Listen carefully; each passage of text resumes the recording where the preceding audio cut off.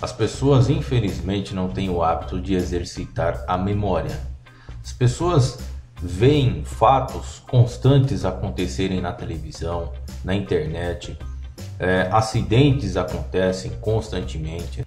E um fato, um fato que aconteceu ano passado fortemente foi a questão da seca. Né? A seca veio aí ah, no decorrer do ano de 2013, 2014 e 2015 a coisa ficou brava. Ficou muito brava e muitas pessoas foram mandadas embora, muitas fábricas fecharam por conta da seca, por falta d'água, por falta de geração de energia elétrica que vem da água. Então é o seguinte, galera.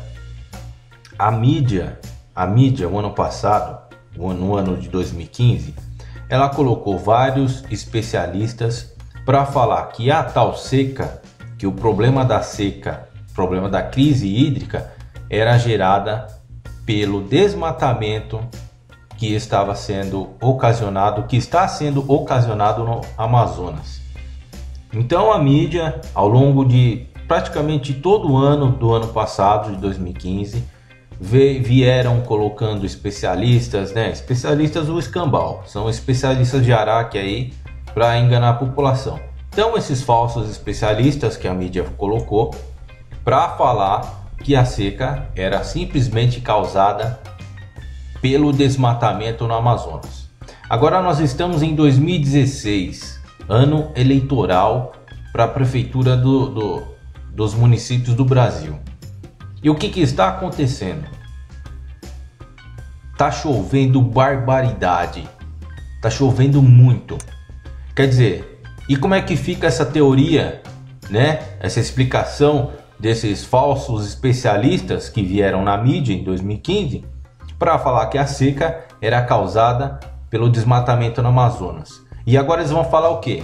Que o excesso de chuvas é causado pelo quê? Será que de repente começou a brotar árvores e cresceram e já tem uma idade de 200 anos que está favorecendo a chuva?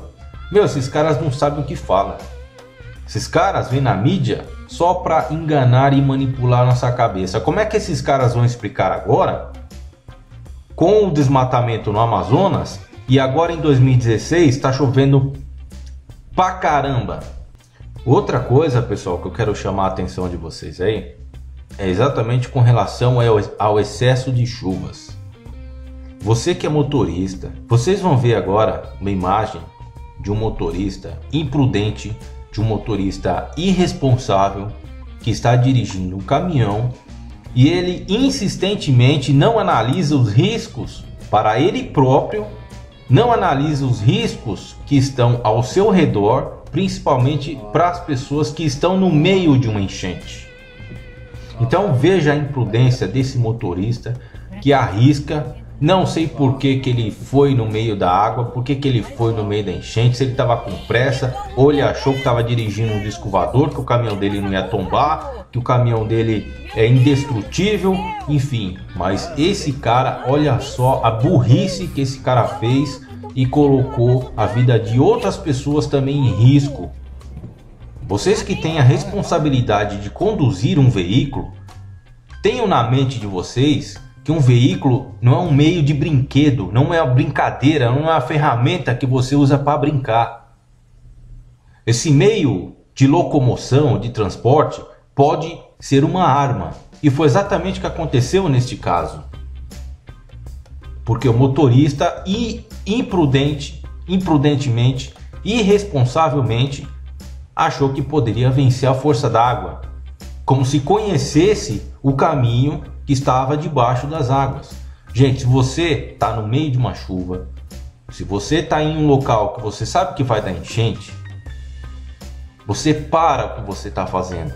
Para no meio da estrada, para no meio da avenida, vai para um lugar mais alto, analise as condições que estão ao seu redor. Primeiro você analisa as suas condições, as condições que estão ao seu redor, as pessoas que estão ao seu redor, para você não colocar principalmente a sua vida e a vida de outras pessoas que podem estar em risco. E como está chovendo muito em excesso, né? Que é por causa das árvores que foram desmatadas lá no Amazonas, que é por causa do desmatamento do Amazonas, né? Como é que os caras. Só quero ver como é que os caras vão explicar isso na televisão. E se as pessoas tiverem boa memória, as pessoas vão lembrar do que eu estou falando, né? Então, pessoal, eu peço, eu faço esse alerta para vocês, porque tem muitos acidentes acontecendo por conta da chuva, por conta da imprudência das pessoas que não avaliam o risco que elas terão nesses atos. Beleza, galera? Então, deixo o meu abraço para vocês. Meu nome é Marcão. Se inscreva no canal e até o próximo vídeo.